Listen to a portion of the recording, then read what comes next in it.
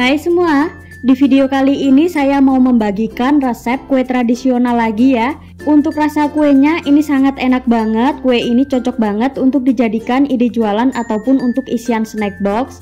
Nah jika kalian penasaran bagaimana cara bikinnya, silahkan simak dan tonton videonya sampai selesai.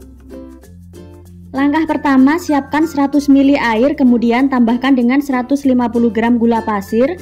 Kemudian ini bisa kita masak sampai gulanya larut. Selanjutnya tambahkan dengan 20 gram coklat bubuk, kemudian ini bisa diaduk-aduk dan dimasak hingga benar-benar tercampur merata.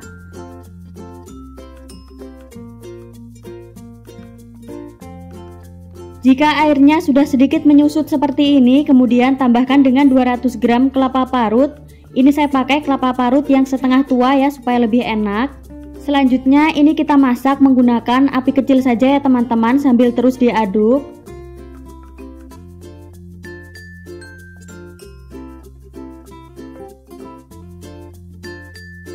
Jadi ini harus terus diaduk ya teman-teman supaya tidak gosong dan matangnya bisa merata.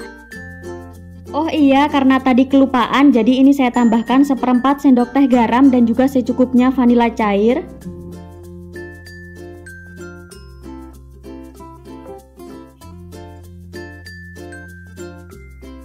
Apabila kadar airnya sudah berkurang dan teksturnya sudah agak kering seperti ini, tandanya sudah matang ya, kemudian bisa dimatikan apinya.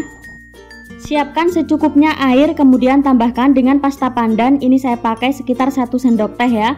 Kemudian ini bisa kita didihkan airnya. Apabila airnya sudah mendidih, kemudian masukkan satu keping bihun jagung. Jadi ini dimasak sampai mengembang dan sedikit lunak.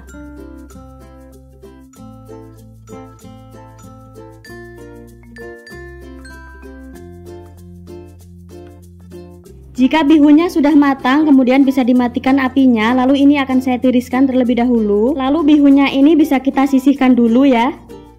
Siapkan wadah, lalu masukkan 100 gram tepung tapioka, masukkan juga 100 gram tepung terigu serbaguna. Lanjut tambahkan dengan 100 gram gula pasir dan juga seperempat sendok teh garam. Supaya lebih enak bisa ditambahkan dengan secukupnya vanila, kemudian semua bahan ini bisa diaduk-aduk hingga tercampur merata. Terakhir masukkan 450 ml santan, ini saya pakai santan kekentalan sedang. Jadi untuk santannya ini kita masukkan secara bertahap ya sambil terus diaduk. Oh iya, jika mau kuenya nanti lebih awet sebaiknya menggunakan santan matang ya.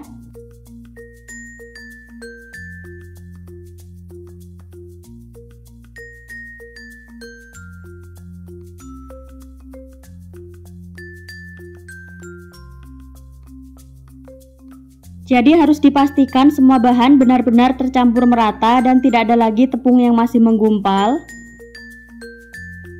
Lanjut siapkan loyang ukuran 20 cm, kemudian ini bisa kita beri olesan minyak sayur tipis-tipis.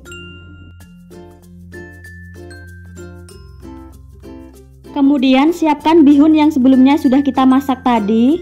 Kemudian masukkan bihunnya sedikit saja ya teman-teman, jadi cukup dikira-kira saja.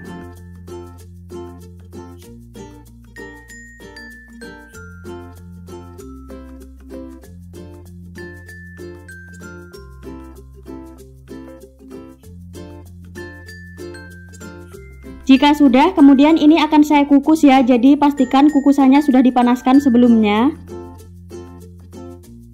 Kemudian tambahkan dengan adonan, ini adonannya sebelumnya diaduk-aduk terlebih dahulu. Lalu masukkan adonannya sedikit demi sedikit seperti ini ya. Jadi untuk adonannya ini saya tuang kurang lebih sekitar 2 sendok sayur. Selanjutnya ini kuenya akan saya kukus kurang lebih selama 7 menitan ya menggunakan api sedang. Setelah sekitar 7 menitan dikukus, kemudian ini sudah matang ya kuenya, lalu bisa diangkat. Selanjutnya ini bisa kita ulangi sampai selesai ya teman-teman, jadi ini bisa dikukus kembali untuk adonan berikutnya.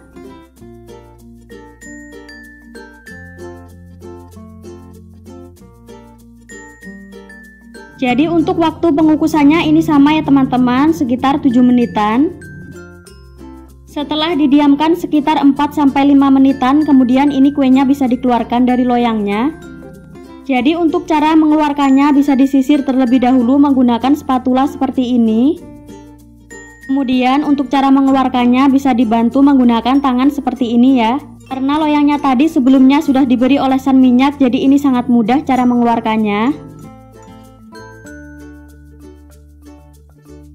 Nah untuk tahap berikutnya ini akan saya beri isian unti kelapa coklatnya tadi. Jadi ini dimasukkan secukupnya saja ya. Kemudian ini kuenya bisa kita gulung secara perlahan.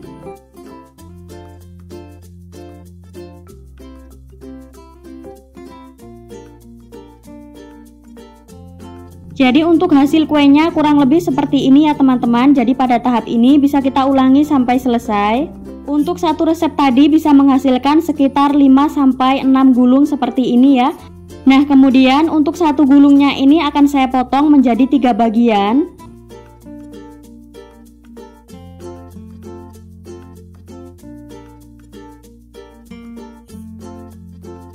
Jadi untuk tampilan kuenya kurang lebih seperti ini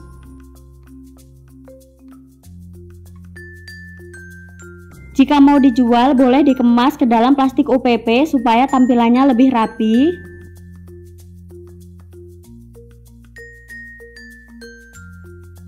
Untuk tekstur kuenya ini sangat lembut, kenyal, dan juga legit banget. Untuk rasa kuenya ini benar-benar unik dan juga enak banget ya karena kita tadi menggunakan tambahan coklat bubuk pada unti kelapanya. Apabila kuenya mau dijual, boleh diberi stiker ucapan seperti ini supaya bisa meningkatkan harga jual kuenya.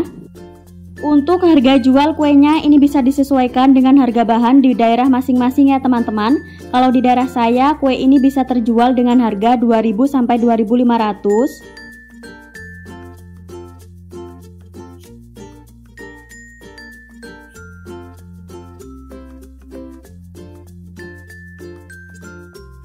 Bagaimana mudah ya cara bikinnya, jadi silahkan dicoba ya resepnya. Sekian dulu ya teman-teman, selamat mencoba, terima kasih.